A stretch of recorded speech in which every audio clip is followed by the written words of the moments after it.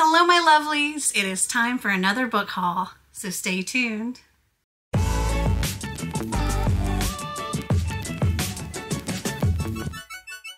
So, this is actually two months of book hauls that I'm combining into one, but uh, there are 36 books here. So, grab you a snack, grab you something to drink, get settled in.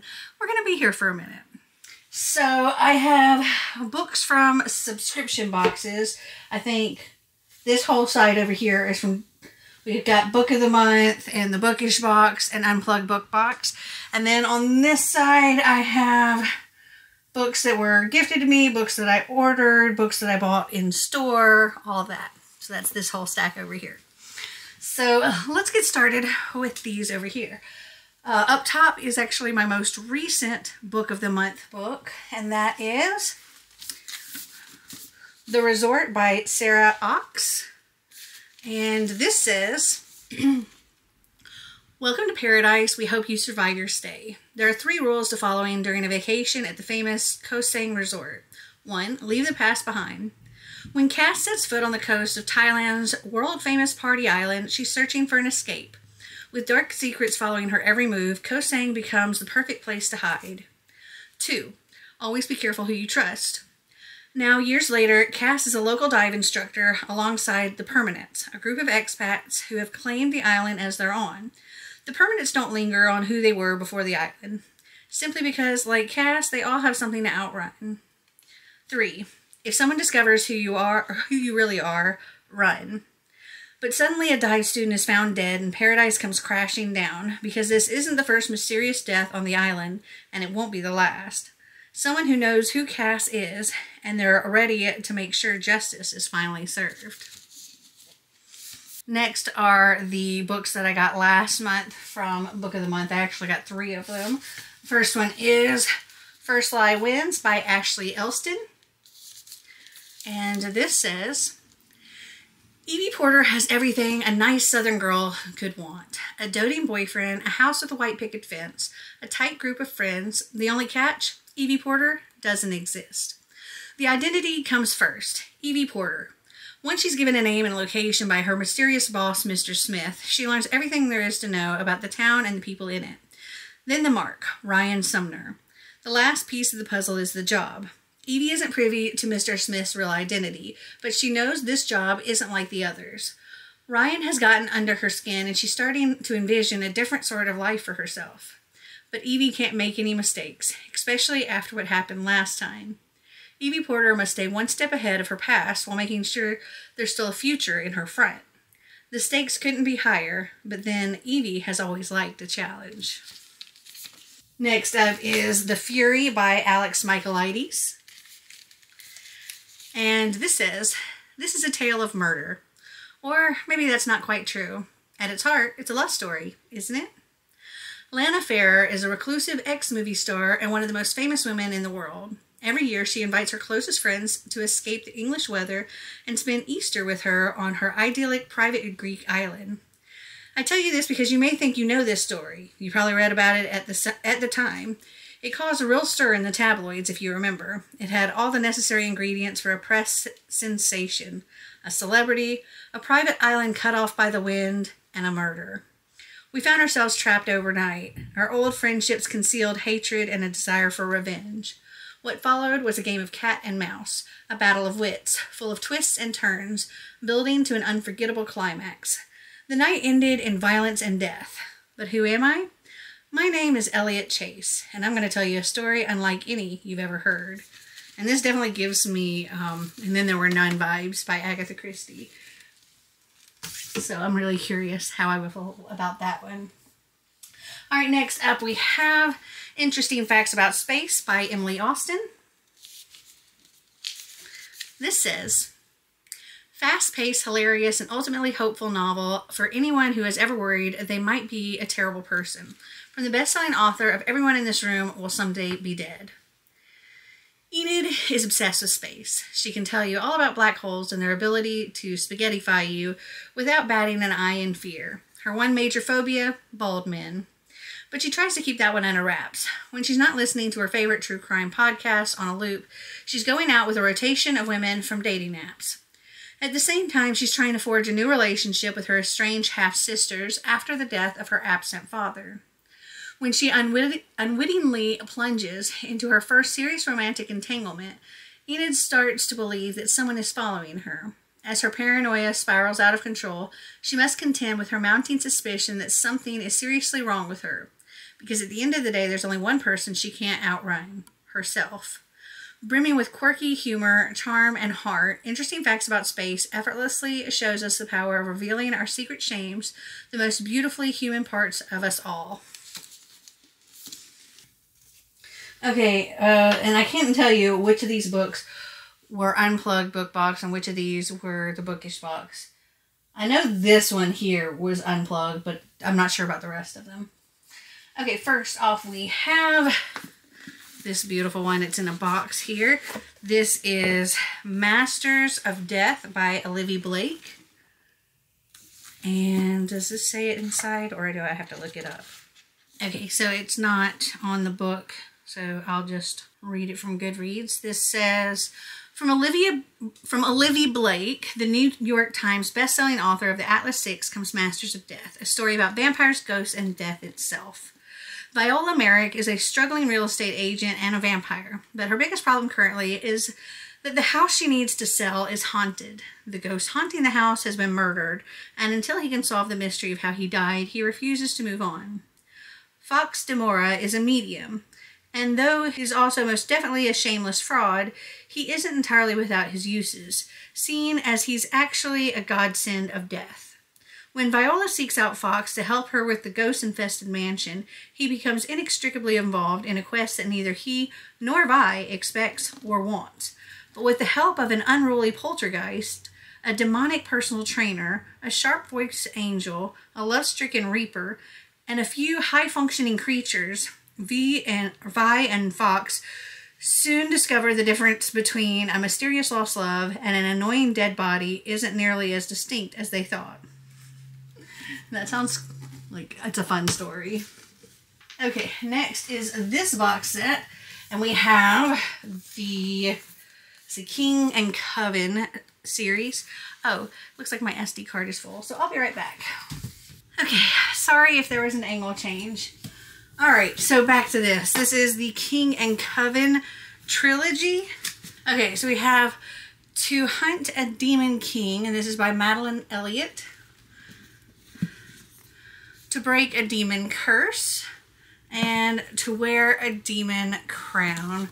These are absolutely stunning, and I will have to look up on Goodreads to tell you about these. So, To Hunt a Demon King is book one. And this says Little Red Riding Hood meets spicy romantasy in this witchy retelling of a classic fairy tale. Y'all know I love me a retelling. Uh, this says Alara has only one goal in her life to convince her mother to treat her like the fully grown witch she is and let her attend a coven meeting. But on her 25th birthday, Alara discovers that her mother had good reasons for keeping her away from the coven and her grandmother, its unfeeling crone. Now, forced to run for her life to hide a magic she shouldn't possess, Alara is told to find the wicked demon king and claim his protection.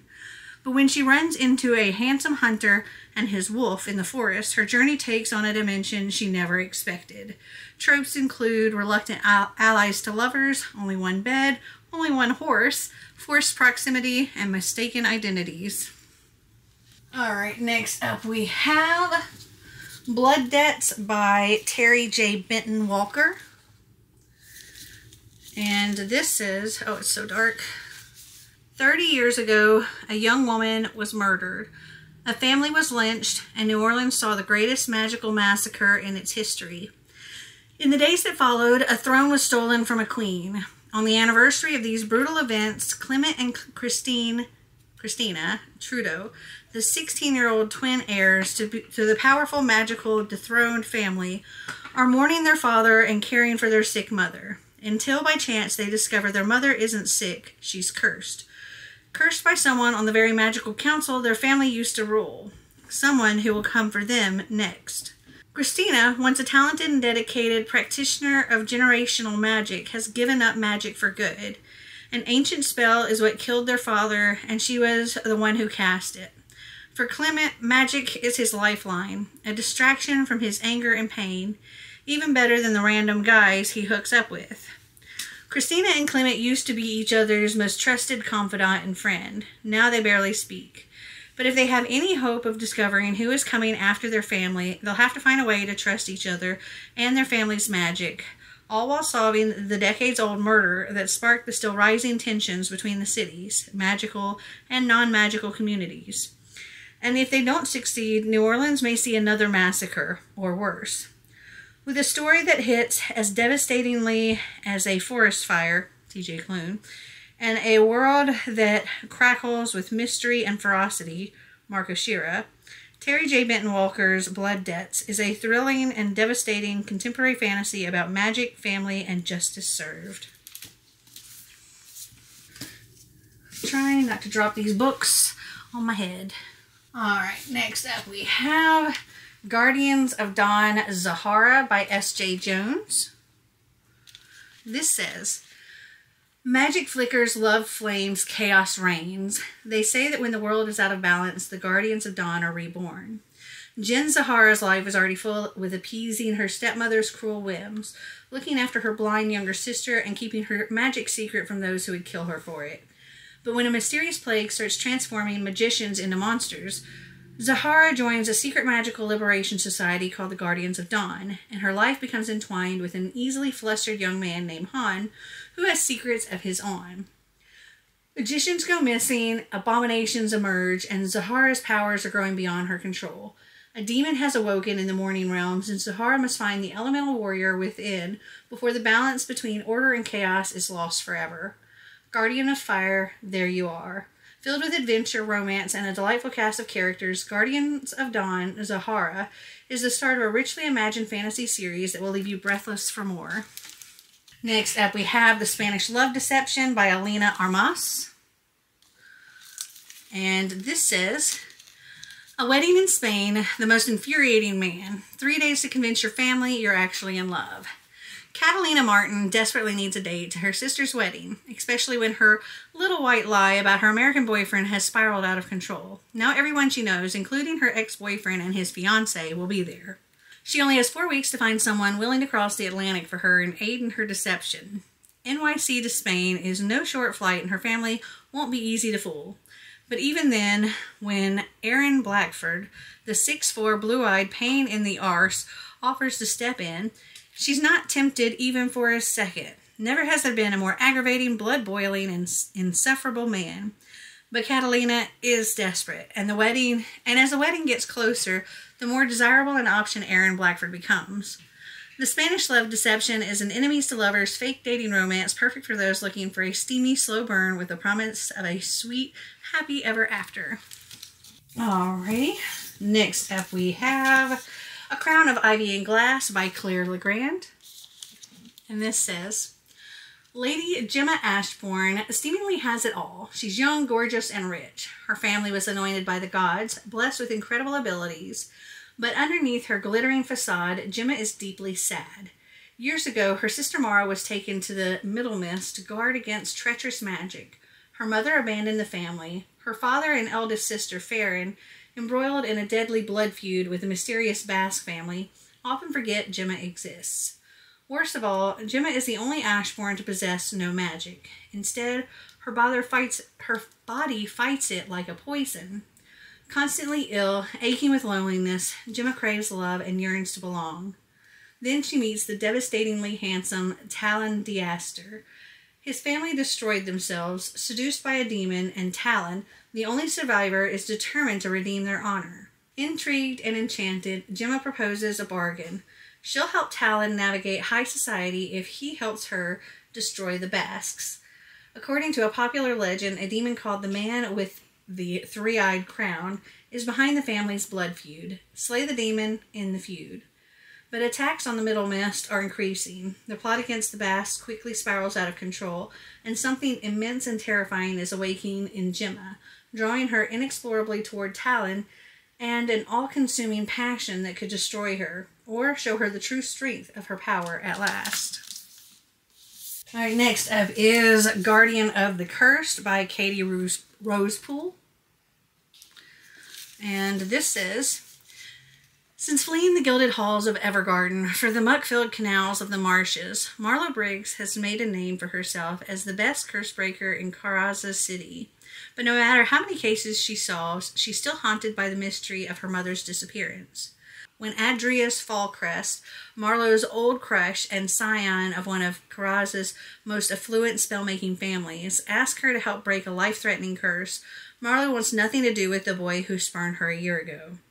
But a new lead in her mother's case makes Marlowe realize that the only way to get the answers she desperately seeks is to help Adrius and return to Evergarden society even if it means suffering through a fake love affair with him to avoid drawing suspicion from the conniving five families. As the investigation draws Marlowe into a web of deadly secrets and powerful enemies, a shocking truth emerges. Adrius's curse and her mother's disappearance may just be clues to an even, even larger mystery, one that could unravel the very foundations of Caraza and magic itself. Okay, I'm actually going to have to stop here for a minute, but um, I'll come back and finish this shortly. For you, it'll be like a second. okay, I am back. Uh, for you, it's been just a second. For me, it's actually been a couple of hours. All right, next up we have Bonesmith by Nikki Pau Preto. And this says, Ready your blade, defeat the undead. In the dominions, the dead linger, violent and unpredictable, unless a bonesmith severs the ghost from their earthly remains. For bonesmith Wren, becoming a Valkyr, a ghost-fighting warrior, is a chance to solidify her place in the noble house of Bone and impress her frequently absent father. But when sabotage causes Wren to fail her qualifying trial, she is banished to the border wall, the last line of defense against a wasteland called the Breach, where the vicious dead roam unchecked. Determined to reclaim her family's respect, Wren gets her chance when a House of Gold prince is kidnapped and taken beyond the wall. To prove she has what it takes to be a Valkyr, Wren vows to cross the breach and rescue the prince. But to do so, she's forced into an uneasy alliance with one of the kidnappers, a fierce ironsmith called Julian from the exiled House of Iron, and the very people who caused the breach in the first place, and the House of Bone's sworn enemy. As they travel, Wren and Julian spend as much time fighting each other as they do the undead. But when they discover there's more behind the kidnapping than either of them knew, they'll need to work together to combat the real danger a dark alliance that is brewing between the living and the undead. Dun dun dun. Okay, next is Court of the Undying Seasons by A.M. Strickland. And let's see. This one says when 19 year old Finn volunteers to take her secret love's place in their village's finding, she's terrified. Those who are chosen at the finding are whisked away to Castle Court's Heart, a vampire school where human students either succeed and become vampires, fail and spend the rest of their lives as human thralls, or they don't survive long enough to become either. Finn is determined to forge a different path, learn how to kill the undead, and get revenge for her mother, who was taken by the vampires years ago. But Court's heart is as captivating as it is deadly, and Finn is quickly swept up in her new world and its inhabitants, particularly Gavrin, her handsome and hostile vampire maker, whose blood is nothing short of intoxicating. As Finn begins to discover new aspects of her own identity and rest and tests her newfound powers, she stumbles across a string of murders that may be connected to a larger ritual, one with potentially lethal consequences for vampires and humans alike. Finn must uncover the truth and find the killer before she use, loses her life or betrays her own heart. Okay, next up is Fall of Ruin and Wrath by Jennifer L. Armentrout. And this says, she lives by her intuition, he feeds on her pleasure. Long ago, the world was destroyed by gods. Only nine cities were spared, separated by vast wildernesses, teeming with monsters and unimaginable dangers. Each city is now ruled by a guardian, royalty who feed on mortal pleasure. Born with an intuition that never fails, Callista knows her talents are of great value to the power hungry of the world. So she lives hidden as a courtesan of the Baron of Archwood. In exchange for his protection, she grants him information. When her intuition leads her to save a traveling prince in dire trouble, the voice inside her blazes with warning and promise. Today he'll bring her joy, one day he'll be her doom. When the Baron takes an interest in the traveling prince and the prince takes an interest in Callista, she becomes the prince's temporary companion. But the city simmers with re- rebellion, and with knights and monsters at her city gates and a hungry prince in her bed, intuition may not be enough to keep her safe. Callista must choose follow her intuition to safety or follow her heart to her downfall. Next is Bewitching a Highlander by Roma Corden. And this says, Define all for the love of a bewitching lass. Brianna McRae, a healer from Skye with a touch of witchery in her blood, embarks on a dangerous search for her missing father. She arrives on the Isle of Cole, seat with the Vile Campbells, seat of the Vile Campbells. There she encounters the debonair future chief of the Dunbar clan, Egan. Egan Dunbar is on call to keep the peace between the feuding Campbells and Dunbars. But when he catches Brianna in a lie, he agrees to help her find her father to pay back an old debt and get to the bottom of the secret she's hiding. Is Egan willing to betray his clan for love? Can Brianna trust him with her family's secret and put those she loves at risk? Next is Face the Night by Lainey Forbes. And this says On a harsh frontier where good and evil contend for people's minds, a young woman must fight for her true identity in this scintillating YA fantasy from the author of the award winning Age of the Seventh Son trilogy. Once Katerina McGregor led a charmed life. Daughter of a wealthy rancher, pretty and educated, she looked forward to all the world had to offer until fate took a turn. Now, family, home, and even her name have been stripped away. As Black Cat Whitfield, adopted daughter of an outlaw, she's wanted by the authorities. It certainly wasn't the destiny she imagined, especially as one of the blessed. The blessed, rare people like Cat, are supposed to use their gifts to carry out missions for the patron saints. But she can only imagine that Saint Prudentia made a terrible mistake in choosing her. Still, her skill has never deserted her. Whenever danger threatens, Cat receives a vision, just in time to save her life. And when she meets a renegade priest, Father Ignatus, Ignatus, he helps her understand how her ability may be part of a much bigger picture, a picture that involves facing up to the monstrous Baron Caldwell, the one who ordered her parents killed, and his son, Adrian, who betrayed them all. Cat is torn between guilt over her parents' deaths, a longing for vengeance against their killers, and a dismaying new interest in Adrian. It would be easiest to flee the whole situation and never look back, but as someone once told her, you can't outrun the darkness on your heels.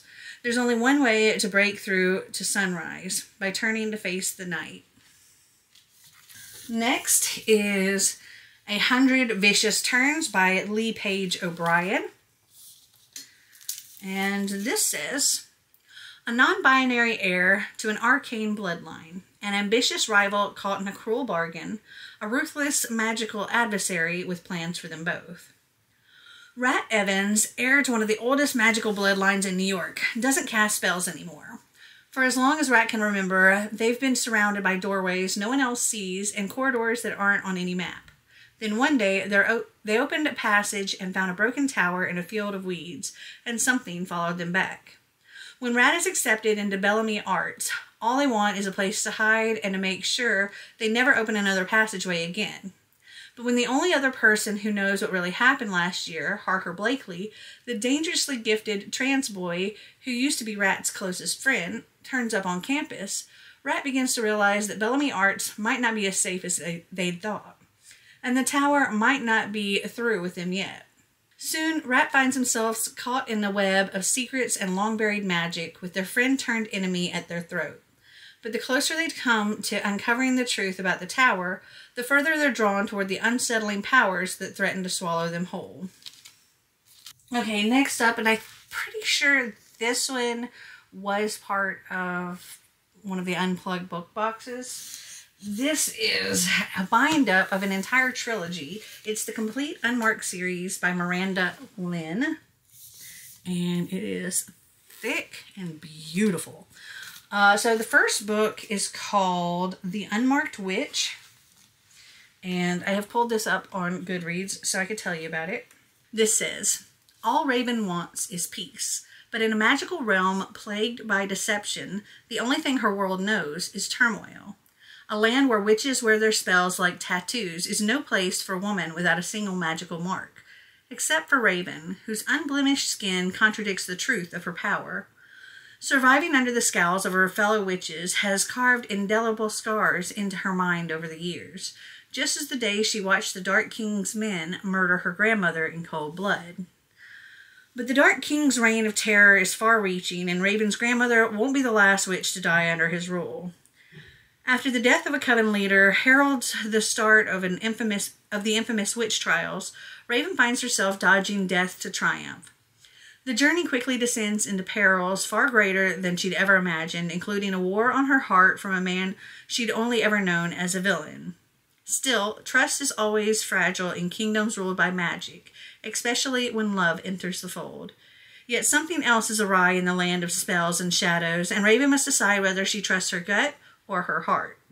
The Unmarked Witch is the first gripping book in the seductive and intriguing, well, it says duology here, but it's actually, there's three books, uh, Unmarked. So, yeah, I'm very excited to try this out. Okay, we'll set this one down there. And we're going to move on to this side. So this first book here was actually given to me by the author. And this was on, um, well, actually some of these books were books that I purchased on a cruise that happened a while ago, like a while ago. It was a Canadian cruise. And uh, it just kind of stayed in the like the suitcase and I'd forgotten all about it um, until I was unpacking my suitcase to repack it. anyway, so this was given to me by the author and that is The Girl He Left Behind by Beatrice MacNeil. And this says, Graham held Willow's hand before he left the church. Struggling with the last few words, he spoke to her. I will always love you, he said. Then he was gone. Fifteen years ago, Willow Alexander was jilted at the altar by her high school sweetheart, Graham Curry, who left their wedding rehearsal knowing he would not be returning to the church the next day.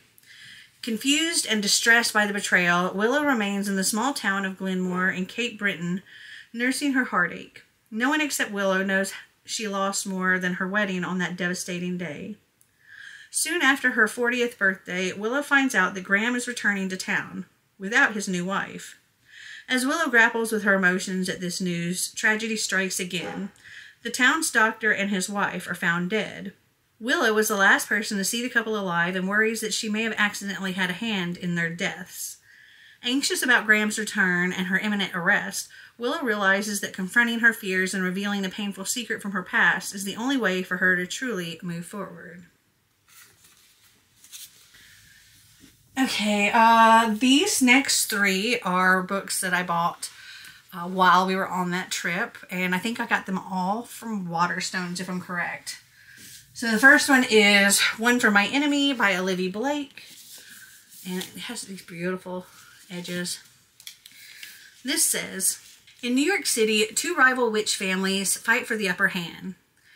The Antonova sisters are beautiful, cunning, and ruthless, and their mother, known only as Baba Yaga, Baba Yaga, is an elusive supplier of premium intoxicants.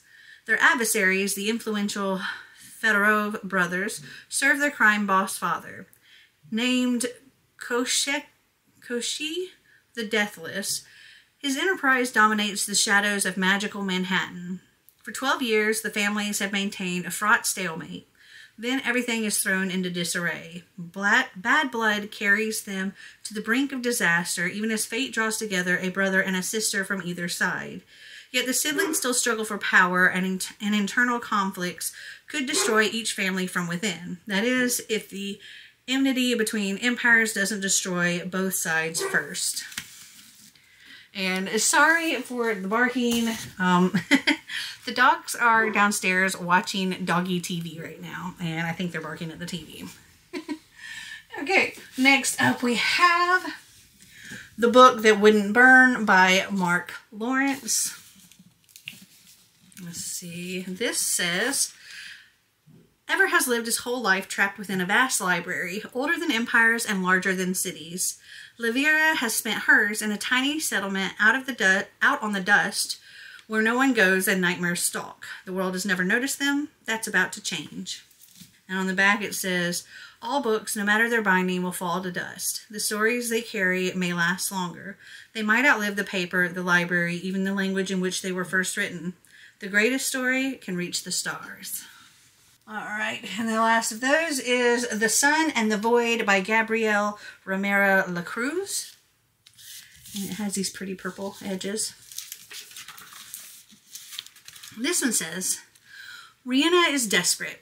Stuck on the edges of society, Rihanna's only hope lies in an invitation from a grandmother she's never met. But the journey to her is dangerous and prayer can't always avert disaster. Attacked by creatures that stalk the mountains, Rihanna is on the verge of death until her grandmother, a dark sorceress, intervenes. Now dependent on the Donna's magic for her life, Rihanna will do anything to earn and keep her favor, even the bidding of an ancient god who whispers to her at night. Eva Casare is unwanted. Illegitimate and of mixed heritage, Eva is her family's shame. She tries to be the perfect daughter, but Eva is hiding a secret. Magic calls to her. Eva knows she should fight the temptation. Magic is the sign of the dark god, and using it is punishable by death. Yet it's hard to ignore power when it's always been denied you. Eva is walking a dangerous path, one that gets stranger every day, and in the end, she'll become something she never imagined. Okay, uh, let's see. These are both books that I pre-ordered from Amazon. So the first one here is Sanctuary of the Shadow by Aurora Ascher. And it has these cool edges. This says, Enter at your own risk and discover the greatest show unearthed in this explosive, darkly imaginative debut fantasy. For humans, the circus is a place filled with wonder and amazement. For Harrow, though, it's a place to hide from those who slaughtered her entire clan. Disguising her abilities as part of her act has kept her true identity safe for years, until he arrives. A strange new attraction with no name, no memory of who or even what he is, let alone an explanation for his odd yet deadly powers. But beneath the layers of anger and isolation, one glimpse into his inky eyes reveals a soul that calls out to the loneliness in her own. And so ah. she chooses him. Harrow is drawn to the darkness, to her insatiable need to soothe the beast who threatens their very existence. But with every secret she unlocks from his past, another from hers whispers free as well, luring enemies who will stop at nothing to get their final revenge on Harrow. And she's afraid she's given them the perfect weapon against her because he's not what he seems, and maybe it's time they finally learn neither is she. Okay, I have to go and turn that off, and I'm also going to change my battery while I'm at it. Marty's trying to sleep, and I think he's going to wring this dog's neck if he doesn't stop. Sorry if the angle changed. that very, very quickly got way out of hand. Oh my goodness. Okay, next up I have Gothikana, A Tale of Dark Romance by RuNyx. This has pretty purple, like dark purple sprayed edges. This says, an unusual girl, an enigmatic man, an ancient castle, what could go wrong? An outcast her entire life, Corvina Clemm is left adrift after losing her mother. When she receives the admission letter from the mysterious University of Verenmore, she accepts it as a sign from the universe. The last thing she expects, though, is an old secluded castle at the top of a mountain riddled with secrets, deceit, and death. Vad Deverell is an enigma and enjoys being a closed book, but knows exactly everything that happens in the university. As a part-time professor working on his thesis, Vad has been around long enough to know the dangers the castle possesses, and he knows the moment his path crosses with Corvina that she's dangerous to everything that he is. They shouldn't have caught each other's eye, they cannot be, but a chill-inducing century-old mystery forces them to collide. People have disappeared every five years for more than a hundred years. Corvina is getting clues to unraveling it all, and Vad needs to keep her eye on her, needs to keep an eye on her. And so begins a tale of the mysterious, the morbid, the macabre, and a deep love that blossoms in the unlikeliest of places. These next, like six, I think, are all books that I pre-ordered from Barnes & Noble. So the first one is If Only I Had Told Her by Laura Nowlin. And this says, If only I had told her that I loved her years ago, then I wouldn't be here now. Finn has always loved Autumn. She's not just the girl next door or his mother's best friend's daughter. She is his everything. But she's not his girlfriend. That's Sylvie, and Finn would never hurt her. So there's no way Autumn could know how he truly feels. Jack, Finn's best friend, isn't so sure. He's seen Finn and Autumn together. How could she not know? And how is he supposed to support and protect Finn when heartache seems inevitable? Autumn surrounds herself with books and wants to write her own destiny. But one doesn't always get a new chapter, and fate can be cruel to those in love. Told through three different perspectives, If Only I Had Told Her is a love story brimming with truth, tragedy, and the unexpected bonds that heal us. Next up is Bookshops and Bone Dust by Travis Baldree. This is sort of like the prequel to Legends and Lattes. And it's kind of like how she found herself to be in the position where she wanted to open this coffee shop and all of that. Uh, this says, Viv is a young battle-hungry orc, but her career with the notorious mercenary company Rackham's Ravens isn't going as planned. Wounded during the hunt for a powerful necromancer, she's packed off against her will to recuperate in the sleepy beach town of Murk, so far from the action that she worries she'll never be able to return to it. What's a thwarted soldier of fortune to do?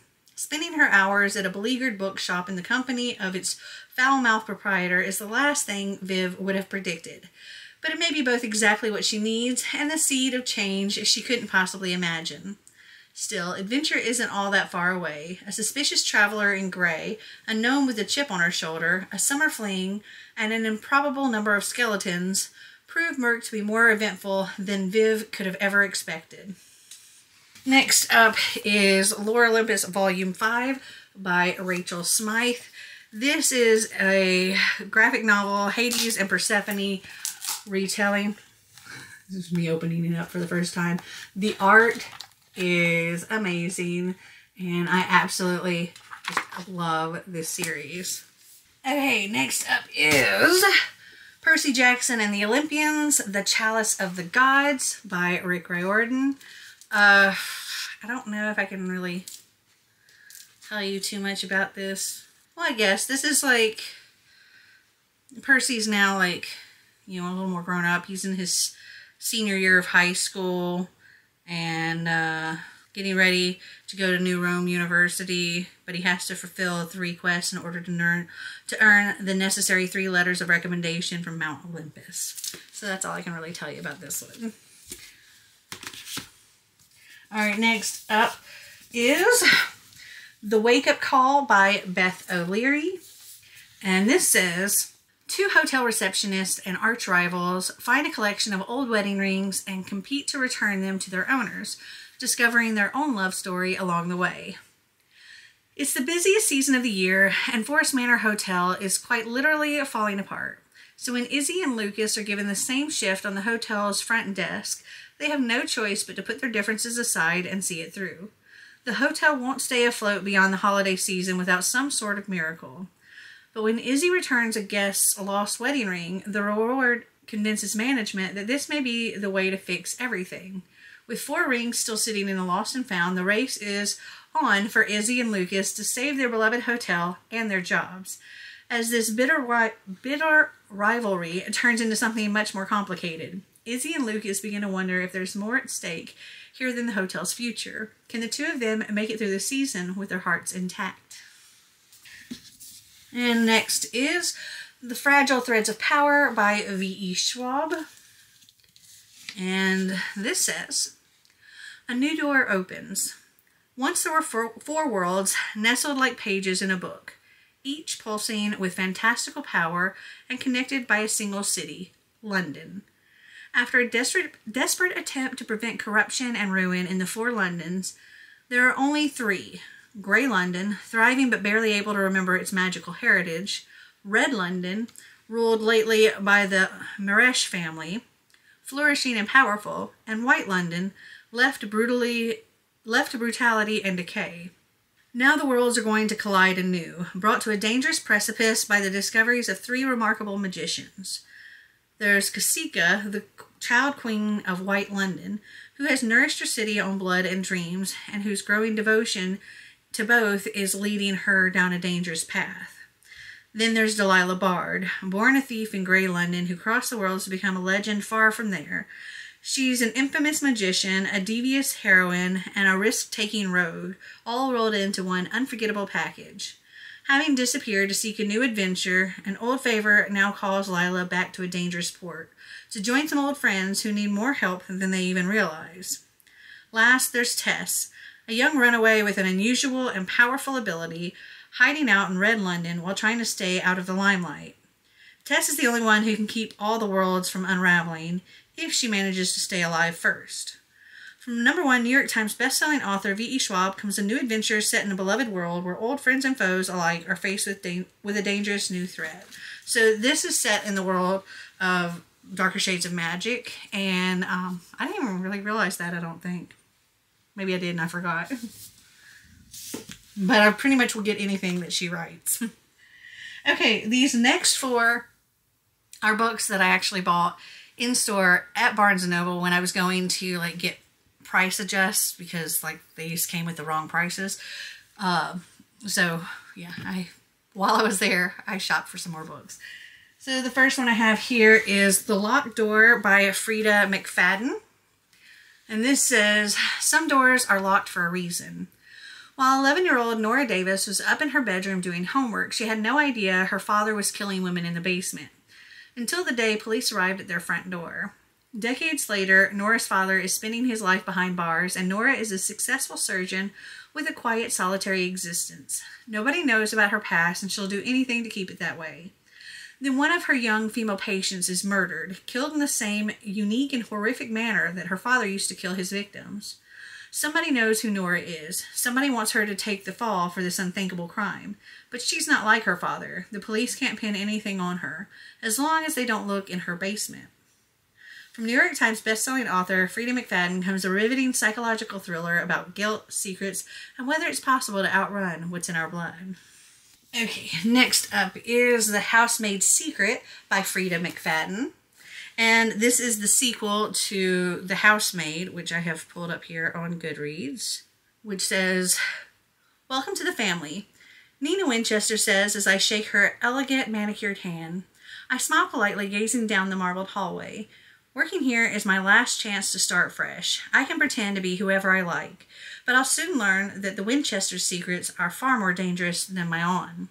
Every day I clean the Winchesters' beautiful house top to bottom. I collect their daughter from school and I cook a delicious meal for the whole family before heading up to eat alone in my tiny room on the top floor. I try to ignore how Nina makes a mess just to watch me clean it up, how she tells strange lies about her own daughter, and how her husband Andrew seems to more broken every day. But as I look into Andrew's handsome brown eyes, so full of pain, it's hard not to imagine what it would be like to live Nina's life. The walk-in closet, the fancy car, the perfect husband. I only try on one of Nina's pristine white dresses once, just to see what it's like. But she soon finds out, and by the time I realize my attic bedroom door only locks from the outside, it's far too late. But I reassure myself the Winchesters don't know who I really am. They don't know what I'm capable of. An unbelievable twisty read that will have you glued to the pages late into the night. Anyone who loves The Woman in the Window, The Wife Between Us, and The Girl on the Train won't be able to put this down. Next up is The Teacher by Freida McFadden. This one says, Lesson number one, trust no one. Eva has had a good life. She gets up each day, gets a kiss from her husband, and heads off to teach math at the local high school. All is as it should be, except last year, Caseham High was rocked by a scandal with one student, Addie, at its center. And this year, Eve is dismayed to find the girl in her class. Addie can't be trusted. She lies. She hurts people. She destroys lives. At least that's what everyone says. But nobody knows the real Addie. Nobody knows the secrets that could destroy her if people at the school found out. And when Eve discovers the shocking truth, Addie will do anything to keep her quiet. From New York Times bestselling author Freida McFadden comes a story of twisting secrets and long awaited revenge. And then, last but certainly not least, is Bride by Ali Hazelwood. Very excited for this one. This says A vampire bride and an alpha werewolf form a dangerous alliance in this enthralling new paranormal romance. Misery Lark, daughter of a powerful vampire councilman, is an outcast. Her days of living anonymously among the humans are over. She's been called upon to uphold an alliance between the vampires and the mortal enemies, the Weres. Weres are ruthless and unpredictable, and their alpha, Lowe Moreland, is no exception. He rules his pack with absolute authority, but not without justice or feeling. It's clear from the way he tracks Misery's every movement that he doesn't trust her, if only he knew how right he was. Misery has her own reasons to agreeing to this marriage of convenience, reasons that have nothing to do with politics or alliances, and everything to do with the only thing she's ever cared about. And she is willing to do whatever it takes to get back what's hers. And this is very different from Ali Hazelwood's past, like, STEM romance book, so I'm very intrigued by this. Okay, so that's everything in this haul. Have you guys read any of these? Did you like them? Did you not? Comment down below and let me know. Well, I hope you enjoyed this video. If you did, give me a big thumbs up. If you'd like to see more videos like this, click that subscribe button down below. And until next time, remember to always be completely you. Bye!